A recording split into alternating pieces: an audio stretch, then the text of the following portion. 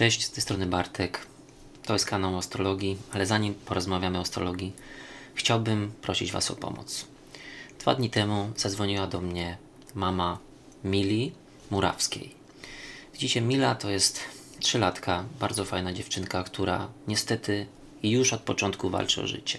Od samego poczęcia urodziła się z wrodzoną wadą serca, którą bardzo ciężko jest uleczyć. Widzicie, Mila ma bardzo dużo siły i bardzo dużo chęci do tego, żeby walczyć o swoje życie. Niestety problem jest taki, że tej choroby nie da się zupełnie wyleczyć, tego, tej wady serca nie da się wyleczyć zupełnie w Polsce, dlatego też potrzebne są, potrzebna jest hospitalizacja w Austrii, w mieście Linz.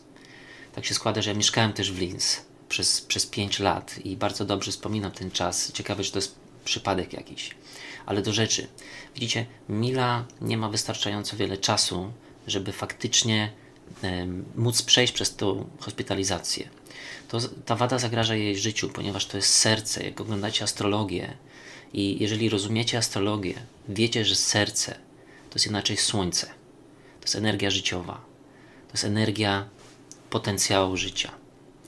Chciałbym Was prosić o to, żebyście zapoznali się z tą zbiórką, żebyście po prostu zapoznali się z tragedią tej małej istoty i chcieli pomóc jej. Ja wierzę w to, że my wszyscy powinniśmy tutaj podtrzymywać to, czym jest życie, ponieważ my dzielimy jedno życie. To jest to samo życie, które z nas wszystkich płynie. I korzystając z tej możliwości i z tych zasięgów, które ja tutaj mam na YouTubie, jakiekolwiek by one nie były, chcę Was po prostu, chciałem po prostu, żebyście zapoznali się z tym i żebyście okazali dobre serce i być może podzielili się jakimś wkładem y, pieniężnym y, z rodziną Mili, ponieważ oni wszyscy no, walczą o to, żeby Mila przetrwała. Ona sama wykazuje bardzo dużo siły do tego, żeby przetrwać. Jedyny problem to jest taki, że świat zewnętrzny niestety uniemożliwia jej to. Dlatego proszę Was serdecznie, mam nadzieję, to, mam nadzieję, że jakoś jej pomożemy. Czasu jest niewiele, ponieważ y, ta wada serca wpływa na nią praktycznie z dnia na dzień. Dlatego to jest, y, no, myślę, myślę, że im szybciej pomożemy jej, tym będzie lepiej. Także ja wierzę w moją społeczność tutaj, wierzę w społeczność astrologów, wierzę w społeczność ezoteryków. Powinniśmy naprawdę pomagać tym, którzy potrzebują. Na to liczę. Także proszę Was, zapoznajcie się z tym, z tym przypadkiem Mili, z jej życiem, ponieważ e, no, ona potrzebuje w obecnej pomocy. Jak dobrze wiecie, dobre uczynki zawsze są wynagradzane, prędzej czy później. Dlatego ja poniżej w opisie e, umieszczam link do zbiórki na, na portalu Fundacji się pomaga i proszę Was po prostu zapoznajcie się z tym i postarajmy się pomóc Mili, pomóc jej rodzinie, po to, żeby mogli cieszyć się wspaniałymi momentami, tym jak Mila wzrasta, tym jak Mila dorasta. No i po prostu zróbmy wszystko, co w naszej mocy, żeby jej pomóc. Moi drodzy, dzisiaj jest dzień 11 lipca. No i jesteśmy na chwilę przed pełnią księżyca w znaku koziorożca. Zaznaczymy sobie pełnię, właśnie to, gdzie występuje, to jakie aspekty robi i rozpatrzymy sobie takie znaczenie pełni, tej obecnej pełni, która odbędzie się 13 lipca w godzinach, e, w godzinach e, wieczornych około 7.37, e, czyli 19.37 w nocy. Ale zanim to zrobimy, spójrzmy w ogóle, gdzie zaczął się obecny cykl lunarny w tym sezonie archetypu raka. Dlaczego raka? A no właśnie, ponieważ dwa tygodnie temu mieliśmy nów księżyca w znaku raka. Wrócimy sobie teraz e, jeden tydzień wstecz i jeszcze jeden tydzień wstecz. Widzimy, że księżyc znajduje się tutaj e, w znaku raka. Akurat to jest dokładnie dwa tygodnie, e, dwa tygodnie temu. To jest 29 czerwiec, godzina też 7.37, czyli cofnęliśmy się po prostu dwa tygodnie wstecz. Widzimy, że księżyc, akurat ten nów, robił w okolicy 8 stopnia archetypu, e, archetypu raka. No bo jak sobie wrócimy troszeczkę parę godzin wcześniej, 29, tak, czyli wrócimy sobie do godziny porannej e, o godzinie 4.30, widzimy, że Księżyc wykonał koniunkcję wtedy, 29 czerwca, ze Słońcem i rysuje nam się tutaj bardzo silna kwadratura nowiu, tamtego nowiu, dwa tygodnie temu, do Jowisza.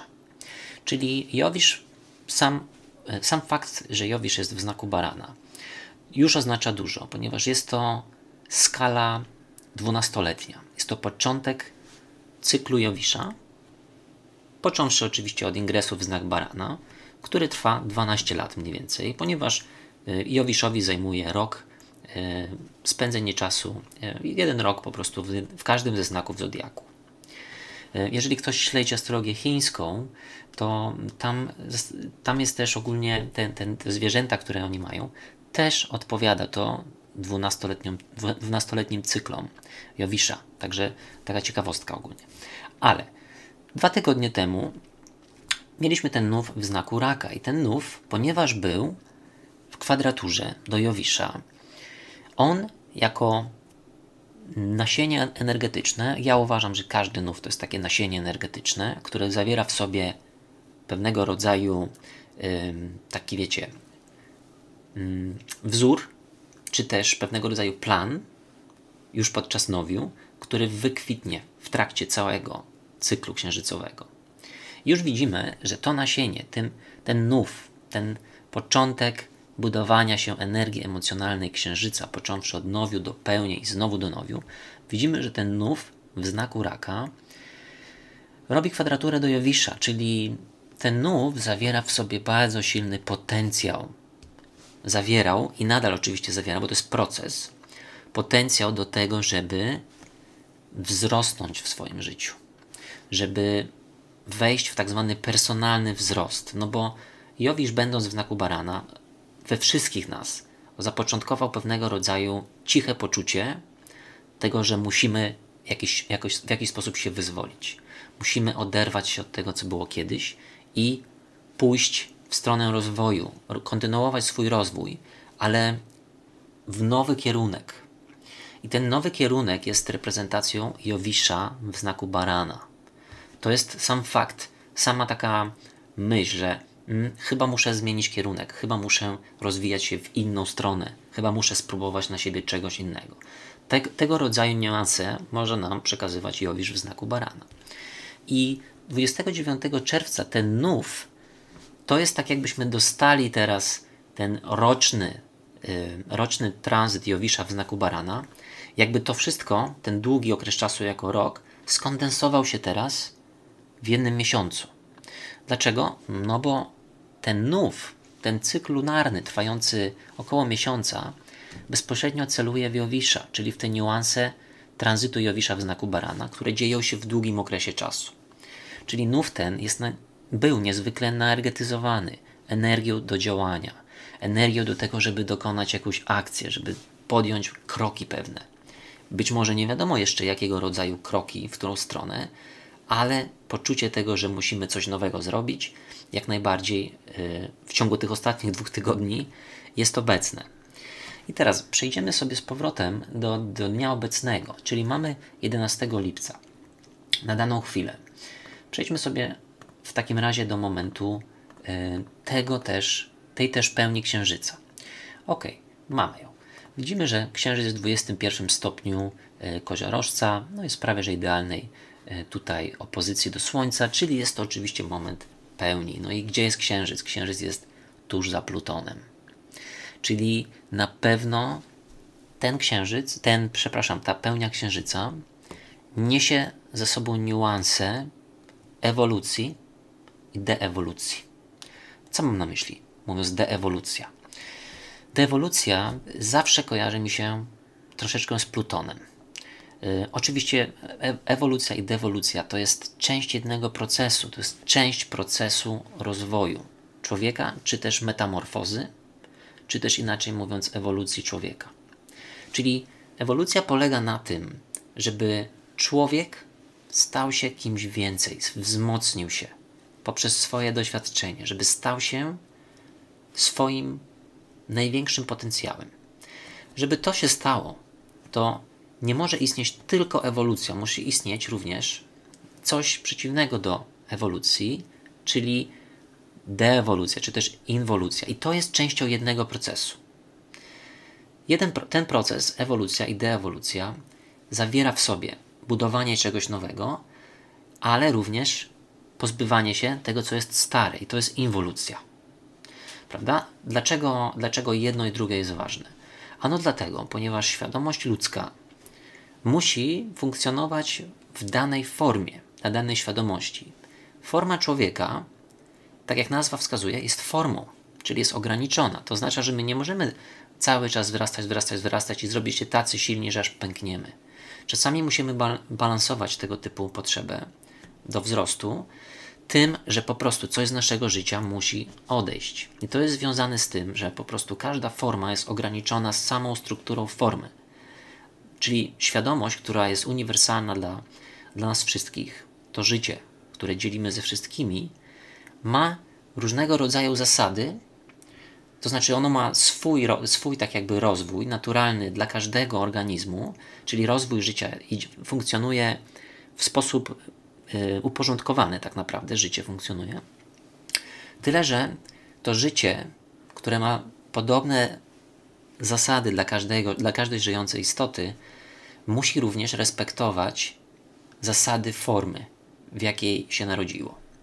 I po prostu tutaj y, człowiek, y, jak i każda żywa istota, no wiemy o tym, że on nie rośnie w nieskończoność. On się w pewnym momencie starzeje. W pewnym momencie dzieje się deewolucja, czy też tak zwana inwolucja. Czyli mamy teraz pełnię księżyca, w której księżyc jest w koniunkcji z Plutonem. Jest to koniunkcja typu balsamicznego, czyli mm, taka podsumowująca coś. Widzimy, że księżyc jest w koziorożcu oczywiście, czyli, czyli dzieje się w tej, podczas tego sezonu raka, bo nadal mamy słońce w znaku raka, dzieje się pewnego rodzaju proces, który bardzo dobrze reprezentuje w ogóle to, czym jest dojrzewanie i czym jest tak zwana maturacja. Zaczęliśmy nowiem w znaku raka. Widzicie, ten nów tak jakby ewoluował poprzez ten, ten, cały, ten, cały ten cykl księżycowy ewoluował poprzez lwa, panny, wagę, skorpiona, strzelca, aż do koziorożca. I teraz patrzy się z powrotem na moment nowiu. Czyli każda pełnia to jest moment, w którym my tak jakby odwracamy do tyłu głowę, zastanawiamy się nad tym, co zaczęło się podczas nowiu, w tym wypadku 29 y, czerwca, to co w nas się obudziło, i teraz patrzymy, patrzymy z taką, mm, z nutką obiektywności podczas pełni na to, co wtedy to nasienie energetyczne w postaci nowiu wyklarowało nam wtedy i co się urodziło podczas tych ostatnich dwóch tygodni. Czyli mamy nów w znaku, w znaku koziorożca. Czym jest w takim razie koziorożec? W przeciwie, przepraszam, nie nów, pełnię w koziorożcu. Czym jest w takim razie koziorożec? W przeciwieństwie do archetypu raka. Jeżeli chodzi o, o indywidualne zrozumienie tej osi, koziorożec i rak, tego typu ym, oś ma do czynienia z szeroko pojętym poczuciem bezpieczeństwa, dotyczącym tego, z czym kojarzymy swoją przynależność. Przynależność to jest bardzo ładne słowo, które, które może troszeczkę nam podmienić, oczywiście nie dosłownie, ale słowo z języka angielskiego, którym jest self-identity. Jak ja siebie widzę? Jaki ja mam swój własny wizerunek? Dlaczego ja mówię przynależność? No bo ten swój własny wizerunek to jest coś, co my możemy odbierać i w odbiorze tego, umożliwia, żeby to odebrać, swój własny wizerunek, musimy czuć siebie. Umożliwiają emocje nam to, żebyśmy zdefiniowali, a lubię to lub nie lubię tego, czyli Bartek siebie, siebie widzi w ten sposób. Czyli ja czuję, że lubię to, czuję, że nie lubię tego i w rezultacie to staje się moim wizerunkiem. I Bartek ma rzeczy, których lubi, i Bartek ma rzeczy, których nie lubi, na przykład. I to wszystko jest energią raka. To wszystko jest energia tak, zwana, tak zwanej wewnętrznego bezpieczeństwa, czyli ja się czuję na przykład ze sobą, ok, taki jaki jestem, widzę siebie i czuję się bezpiecznie w tym, jaki jestem. Nie muszę nic zmieniać w sobie, bo mam poczucie bezpieczeństwa w tym, że ok, okay jestem jaki jestem, akceptuję siebie. Czyli mam poczucie bezpieczeństwa, które gdzieś jest zakorzenione we mnie. Zakotwiczone gdzieś jest we mnie, niezależnie od tego, co jest na zewnątrz mnie. I teraz koziorożec wchodzi do gry i mówi nam: No słuchaj, żyjesz tutaj, w takim świecie, ten świat ma takie zasady. Ten świat umożliwia tobie to. W tym świecie możesz stać się tym, tym, tą osobą, możesz taką profesję mieć, możesz mieć taką profesję i taką, i taką, i taką. I tutaj wkracza drugie pojęcie bezpieczeństwa. I bezpieczeństwo koziorożcowe bardzo często dotyczy tego, co my zbudowaliśmy z sobą na świecie zewnętrznym, w świecie grupy, w świecie, który jest materialny, który jest solidny, ponieważ tym jest koziorożec. Nie zapominajmy, że koziorożec to jest inaczej, e, trochę taki synonim do Saturna. To jest ten sam archetyp. Koziorożec, dom dziesiąty i Saturn to jest jeden typ energii, jedna, jeden rodzaj y, tak zwanego ruchu życia. Sektor życia, tak jakby. No bo jeżeli życie reprezentowane jest od barana do ryb, to no, koziorożec jest jednym, jedną z faz, w jakie każde życie fizyczne przechodzi. Jedną z dwunastu faz. Czyli mamy tą pełnię księżyca w znaku koziorożca i ona nam pokaże jedną rzecz. Czy my czujemy się bezpiecznie w takim świecie, jaki sobie zbudowaliśmy sami? Takim świecie, w zasadzie, który jest, jest oparty na naszych ambicjach, na naszych własnych, na naszym własnym wkładzie. Co mam na myśli? No, każdy z nas rodzi się z pewnego rodzaju ambicjami, z pewnego rodzaju celami. Te cele, one mogą mieć dwojakie pochodzenie, czyli ktoś może, prawda, mieć cel jakiś do osiągnięcia w życiu, który jest jego własnym produktem, czyli wynik, wynik z niego samego. A ktoś może mieć cel, który został gdzieś wybrany z zewnątrz, który tak naprawdę, do którego on gdzieś dąży, do którego on chce gdzieś dobiec, chce złapać jakiś cel, który jest gdzieś tam daleko. I wyobraźcie sobie, że tym właśnie jest oś węzłów księżycowych. Jest to dojrzewanie w pewnym sensie do tego, żeby raczej te ambicje koziorożcowe czerpać z wnętrza, a nie z zewnątrz. Bo jeżeli my złapiemy jakiś cel z zewnątrz, to on bardzo szybko pofrunie. Natomiast jeżeli my sami wytworzymy w sobie jakiegoś rodzaju potrzebę rozwijania swoich ambicji, to ma to o wiele, o wiele y, więcej szansy, o wiele, większą, wiele większą szansę do tego, żeby przetrwało to. Dlaczego? Bo jeżeli ten cel jest samomotywowany przez nas samych, to, nie, to, to niezależnie od tego, co się dzieje na świecie, my będziemy cały czas w stanie ten cel rozwijać. Czyli taki jest proces, który naturalnie wynika na, z osi archetypu raka do osi archetypu koziorożca. I chciałbym zauważyć, że y, archetyp raka jest takim na, na drodze zodiaku naturalnego, czyli na drodze impulsu życia, który zaczyna się w baranie. Archetyp raka jest tak jakby pierwszy. Czyli rozpatrując to pełnię, ok, księżyc jest w znaku, w znaku koziorożca, jest pełnia w znaku koziorożca, ale ona zaczęła się, cały ten, ten cykl zaczął się w znaku raka. Czyli musimy zastanowić się teraz nad jedną rzeczą, każdy z nas z osobna. Czy zrobiliśmy wszystko do tego, w celu, w celu tego, aby poznać siebie, aby zaakceptować tego rodzaju czas i miejsce, tego rodzaju czasoprzestrzeń, w jakiej przyszliśmy na świat. Widzicie, wiele ludzi, wielu ludzi po prostu myśli, że oni przyszli w nieodpowiednim momencie na świat. E, wielu ludzi myśli, że powinni urodzić się za jedną epokę, na przykład e, e, w przyszłość. Otóż nie, moim zdaniem nie ma tak, czegoś takiego. Moim zdaniem każdy urodził się w takim momencie, w jakim powinien przyjść na świat. Jeżeli ktoś ma problem z akceptacją w ogóle jednostki czasowe, w jakiej przyszedł, to znaczy, że oddaje siłę nad sobą komuś innemu, czemuś innemu. To znaczy, że pozbawia siebie samego autorytetu do tego, żeby móc swoim życiem zarządzać i organizować swoje życie.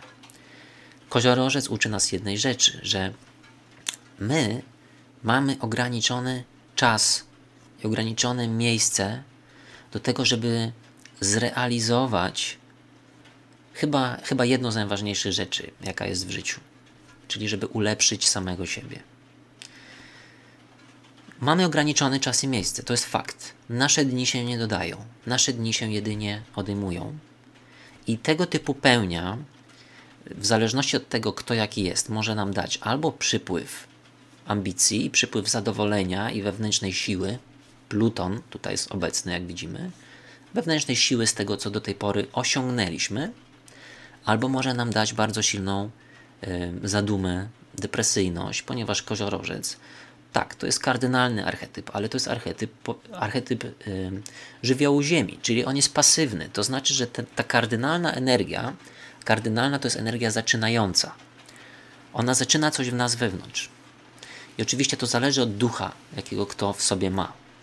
Jeżeli, ta, jeżeli człowiek za bardzo nie chce poprawić swojego życia, nie chce dorosnąć, nie chce rozwijać się w obrębie też grupy, społeczeństwa danego, i ma problemy z tym, żeby w ogóle podlegać zasadom społecznym, jakiekolwiek by one nie były, czy dobre, czy złe, to już inna kwestia jest, ale jeżeli ma problem z takim podleganiem pod wyższy autorytet, bo zawsze ktoś jest nad nami wyżej, to wtedy tego typu koziorożec i tego typu pełnia, koziorożec jako archetyp, może urzeczywistnić się jako taki troszeczkę stan depresyjny. Prawda? Dlaczego jest stan depresyjny? Ano dlatego, ponieważ ja uważam, że tego typu stany są spowodowane jedną rzeczą. Tym, że jest dysonans pomiędzy życiem wewnętrznym danej osoby, która może przechodzić prawda, przez pewnego rodzaju yy, doła. Jest dysonans pomiędzy tym, co ona czuje wewnętrznie, a tym, co zbudowała sobie w świecie dookoła niej.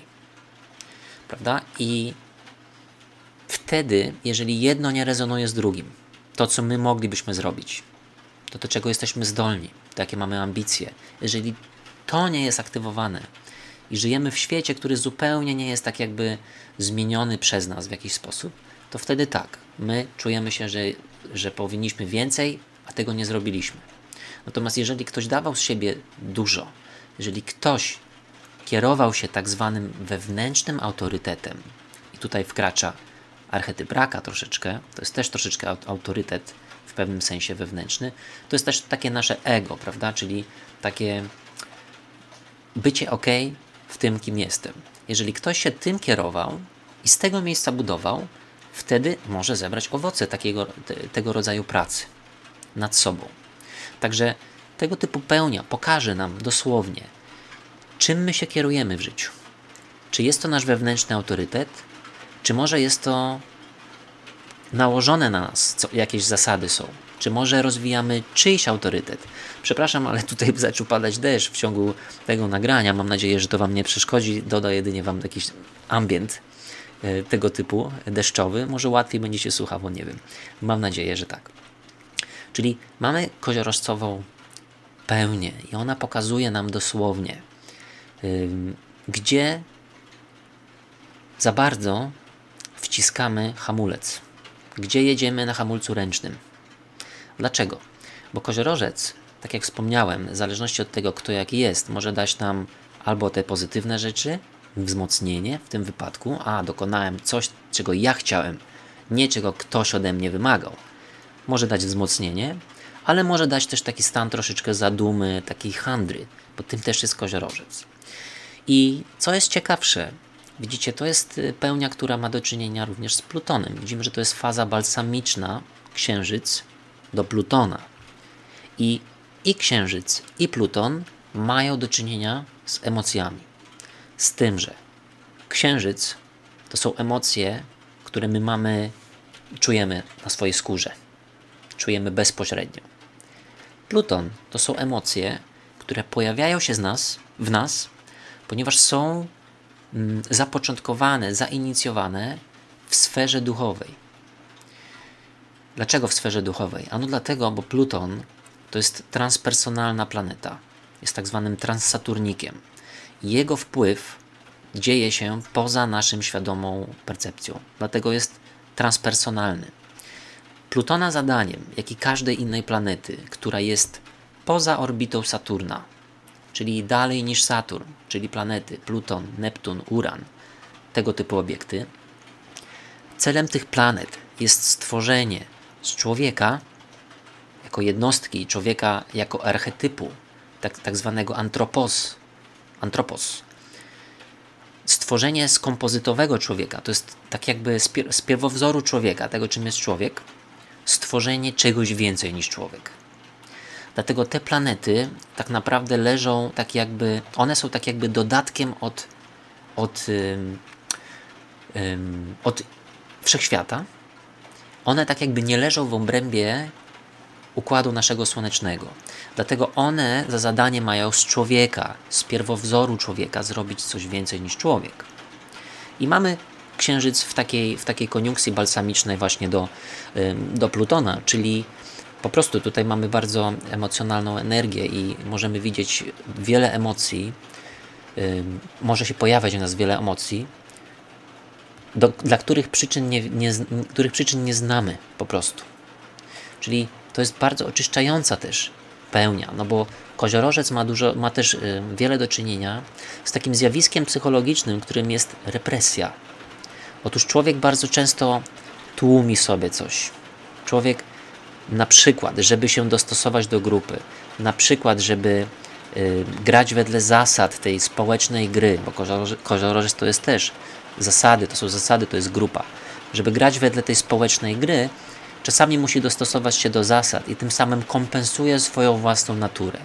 Może dziać się pewnego rodzaju represja w ludziach, represja emocjonalna i te emocje, które my tłumimy, mogą po prostu, pełnia może je wyrzucić na zewnątrz. Moi drodzy, mam nadzieję, że to Wam yy, jakoś po prostu nakreśli dalszy, no, no, no to jaka, jaka jest energia po prostu Y, energia w powietrzu. Na daną chwilę za moim oknem rozpadał się strasznie deszcz, a ja za bardzo nie chcę drugi raz powtarzać tego nagrania, ponieważ ja lubię y, nagrywać bardzo spontanicznie, tak jak po prostu ze mnie, że tak powiem, y, ta energia przechodzi na daną chwilę. Także na razie za oknem puka deszcz, troszeczkę zakłóca tutaj mój mikrofon, ale dacie radę na pewno w jakiś sposób wysłuchać tą, ten, ten przekaz.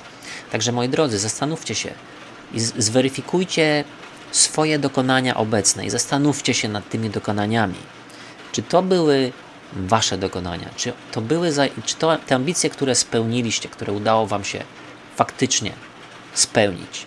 Czy one są faktycznie wasze? Czy są być może pożyczone? Czy są być może czyjeś inne? Prawda? Bo tego typu pełnia na osi rak koziorożec pokaże nam jedno. Czy my żyjemy pełnią możliwości, jakie w sobie mamy, czy też nie żyjemy pełnią możliwości. Tym jest koziorożec. Tym jest ambicja koziorożca, tym jest dążenie do celu. I pytanie jest, kto ustanawia ten cel? Prawda? Czy, czy my bierzemy sobie za cel um, taki wzrost w hierarchii społecznej, wzrost, wzrost w sferze, w sferze e, socjalnej, czy ten wzrost jest może czymś wewnętrznym? Czy chwytamy się rzeczy, które są tylko na chwilę, których nie będzie po tym, jak, jak już nas nie będzie? Czy szukamy wzrostu w sprawach, które są ponadczasowe, w wartościach, które są ponadczasowe?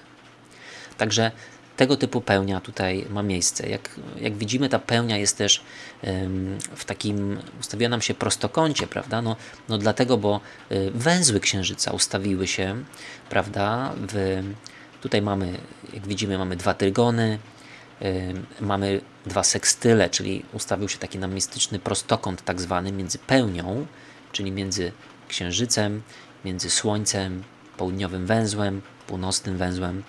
Ustawił nam się ten tutaj y, prostokąt mistyczny i jak sama nazwa wskazuje, to tego typu połączenie, zwłaszcza z pełnią, bo pełnia prawda, dotyczy świateł, księżyc i słońce, które mają do czynienia troszeczkę z życiową energią, w przeciwieństwie do planet, tego typu, tego typu, pe, tego typu pełnia, w której węzły ustawiają się w harmonijnie do świateł, i do księżyca, i do słońca, to jest pełnia, w której wiele, wiele rzeczy może przyspieszyć.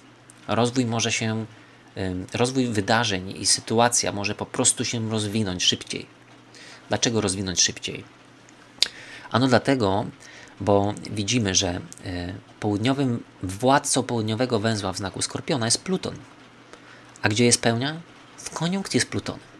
Czyli widzimy, że dzieje się możliwość oczyszczenia swojej przeszłości, możliwość y, odrzucenia, przywiązywania się do tych rzeczy, które należą do starej wersji siebie. Tym jest obecnie południowy węzeł w Skorpionie. Zostawiamy za sobą, staramy się nie polegać na przyzwyczajeniach, zbytnich przyzwyczajeniach. Tak jakby, bo, bo Skorpion to jest, to jest energia, która włada przyzwyczajeniami się, przyzwyczajaniem się. Czyli ktoś na przykład ma jakiś zły nawyk, prawda? Na przykład pali papierosy i ciężko jest mu ten nawyk rzucić. I tego typu związek tej osoby, na przykład z nałogiem, to jest związek typu skorpicz, skorpionicznego. On czuje, że na chwilę daje mu to siłę, na przykład ten nałóg, i po chwili znowu bezsilność. Jest siła i znowu bezsilność. Jest bardzo silne przywiązanie, którego nie da się bezpośrednio, od którego nie da się odciąć tak łatwo. To jest skorpion. To jest głęboka woda. To jest psychologiczne przywiązanie się do czegoś.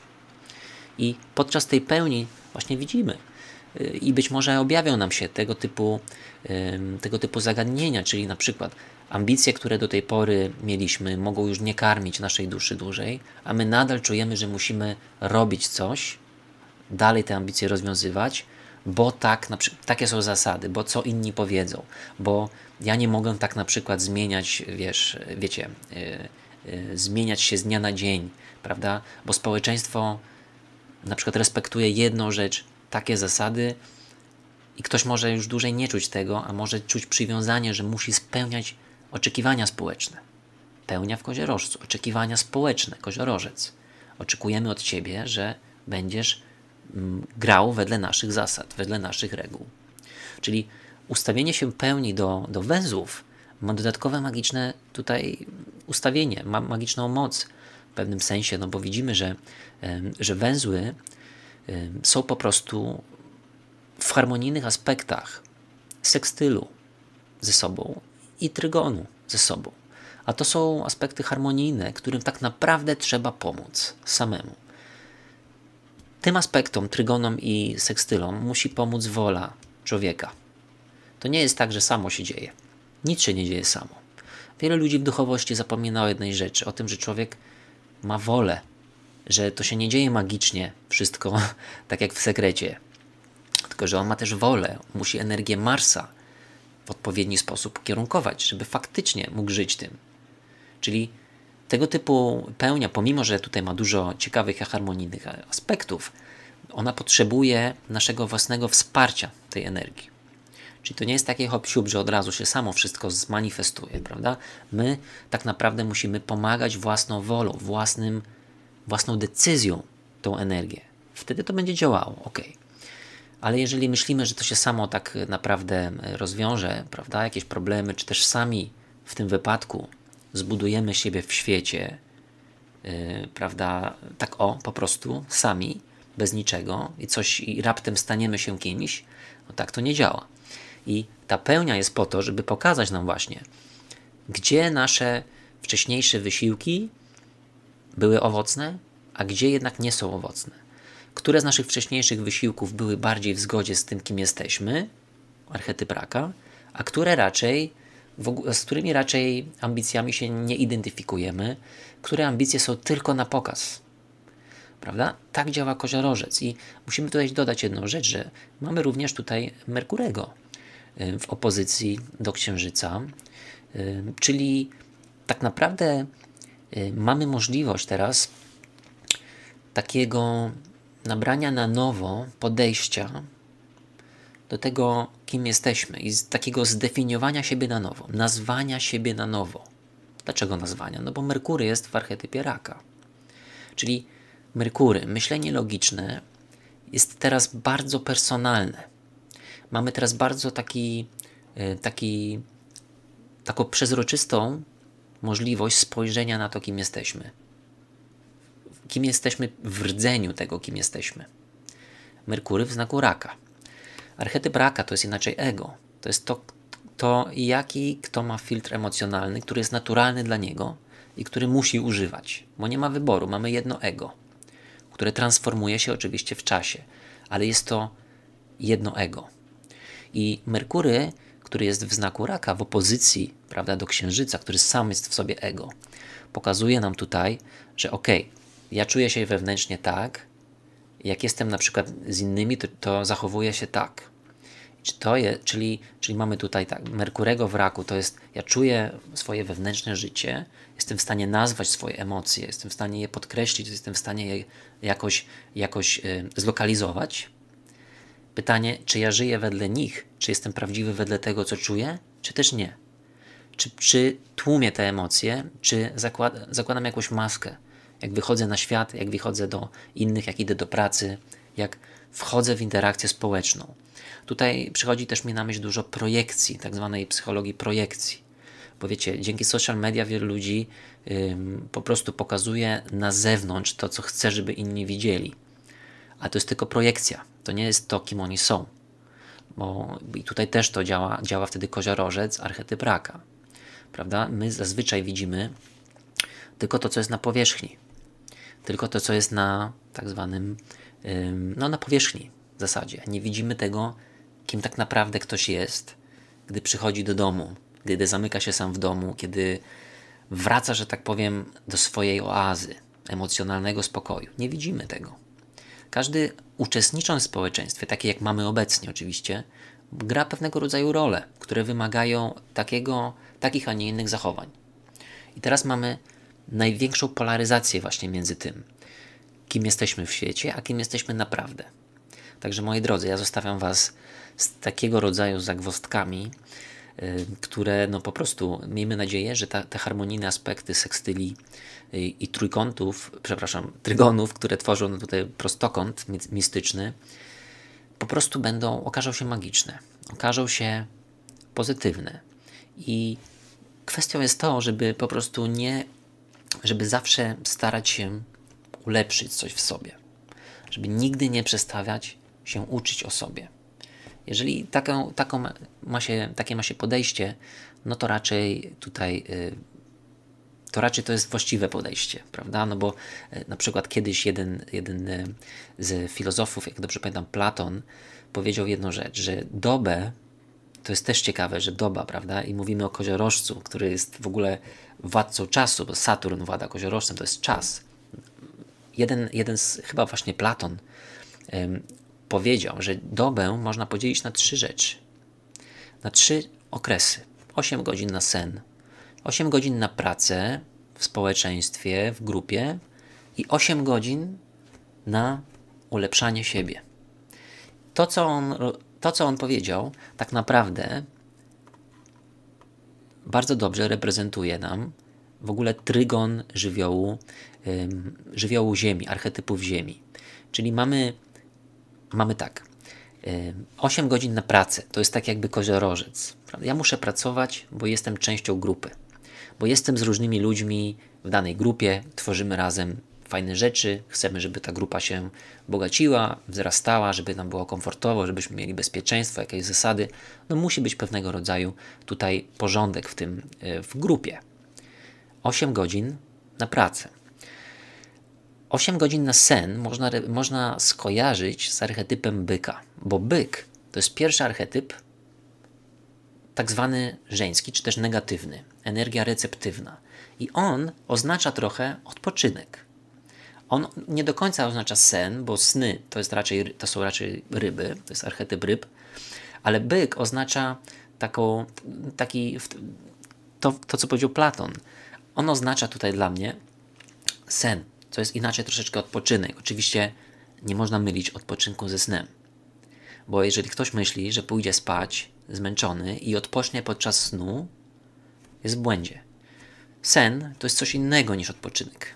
Odpoczynek to jest odpoczynek, ale sen jest potrzebny człowiekowi nie w celu odpoczynku. Sen to jest regeneracja psychiczna człowieka. Dlatego nawiązując do tego Platona, co powiedział, 8 godzin prawda, wpracować, to jest koziorożec. 8 godzin odpoczywać, to jest trochę byk. W zasadzie 8 godzin to sen powiedział, ok. 8 godzin na sen, dobra. Ulepszanie się to jest panna, ulepszanie siebie samego. Prawda? Czyli mamy taką pełnię księżyca, która pokazuje nam właśnie też to, na co spędzamy swój czas. Czyli sam faktor czasu to, że czas przemija, jest obecnie bardzo silny.